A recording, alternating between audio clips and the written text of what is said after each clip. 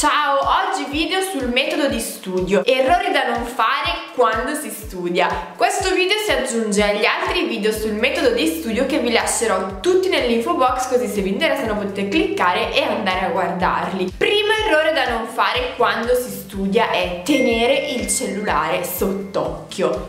Sufficiente che voi teniate il cellulare sulla scrivania per avere già sbagliato. Infatti il cellulare, anche se lo mettete, perché io all'inizio lo mettevo così, girato a faccia in giù, ma anche se lo tenete girato a faccia in giù, però è in vista, quindi voi potete vederlo, la vostra mente è sempre distratta dal fatto di pensare chissà se qualcuno mi ha scritto, oddio vediamo se mi ha scritto, no mi devo trattenere per non guardare che qualcuno mi ha scritto, non lo devo guardare perché devo andare avanti a studiare. E siamo sempre distratti, quindi è fondamentale non avere il cellulare a portata di mano per farvi capire, io lo mettevo totalmente silenzioso e lo nascondevo in un'altra stanza. La mia amica invece lo consegnava la mattina a sua madre e le diceva non darmelo finché non ho finito di studiare, perché in questo modo tu lo togli dalla tua mente e all'inizio dirai cavolo cellulare, cellulare, dopo te ne dimenticherai totalmente e potrai studiare in tranquillità. Quindi, primo errore da non fare, non tenere il cellulare sott'occhio. Non studiare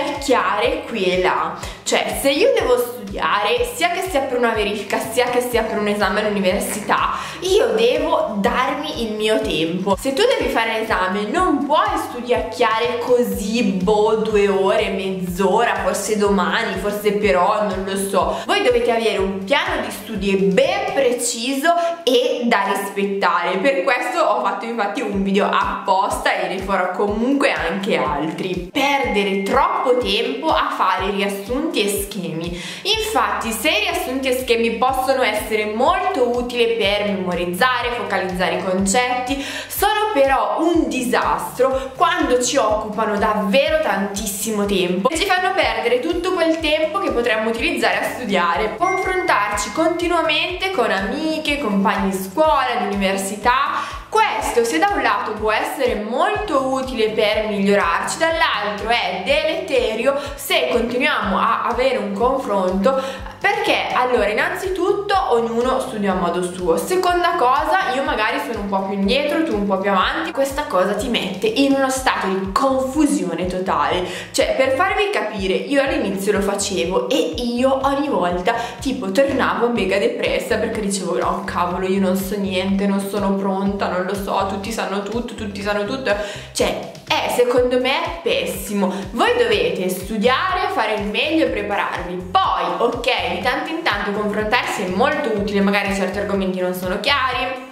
o certe cose le ha studiate meglio lei o meglio tu, vi fate le domande a vicenda, ok, questo va bene, ma quello che non va bene è continuare a confrontarsi dall'inizio alla fine, perché vi creerà soltanto una confusione immensa consiglio che vi devo assolutamente dare ma su cui voglio fare dei video apposta è non abbatterci. Se noi ci mettiamo a se ci andiamo a studiare la mattina e iniziamo no non ce la posso fare non ce la posso fare no no. Cioè se tu ti abbatti entri in una spirale negativa che ti porta sempre al peggio. Quindi ok avremo momenti di sconforto ma non dobbiamo farci portare nel turbine di questa negatività. Cioè se devo fare un esame prendo mi metto lo faccio faccio? Se poi va male ma cosa sarà mai? Cioè non succede niente lo rifai.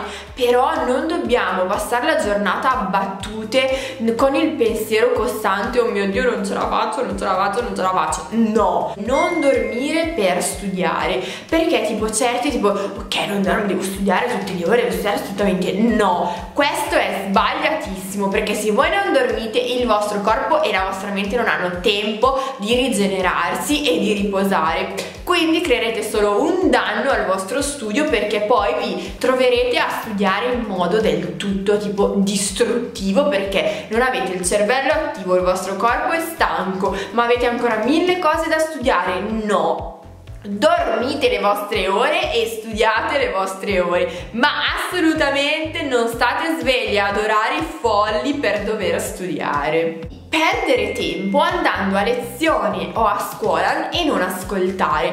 Cioè, se voi andate a lezione a scuola, utilizzate quel tempo per ascoltare, perché se voi andate e non ascoltate niente, avete perso tempo, cioè piuttosto state a casa, ok, non lo posso dire a scuola perché a scuola siete obbligati, ma all'università sì. Voi dovete ascoltare, perché se voi ascoltate, cioè non dico proprio tutta la lezione, eh, però cioè, è utile ascoltare perché vi dà già un'infarinatura della materia, per chi è molto perspicace addirittura già fa metà dello studio non ero io quella perché comunque dovevo studiare però se tu ascolti già ti dà ehm, appunto conoscenza della materia o dell'esame che devi fare.